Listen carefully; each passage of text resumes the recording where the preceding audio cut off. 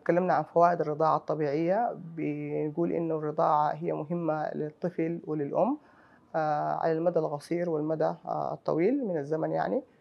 آه، وبنشجع الرضاعة الطبيعية من أول ساعات بعد الولادة.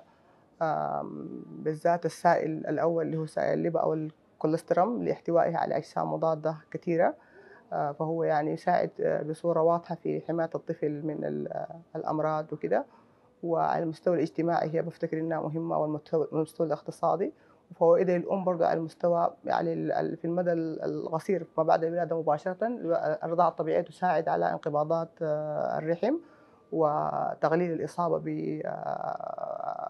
بنزيف ما بعد الولادة. وعلى المدى البعيد هي برضو الرضاعة الطبيعية بتساعد في تقليل الإصابة بسرطانات الثدي وسرطانات المبايض. وبنناشد كل الأمهات من أخواتنا وبناتنا بالحرص على الرضاعة الطبيعية.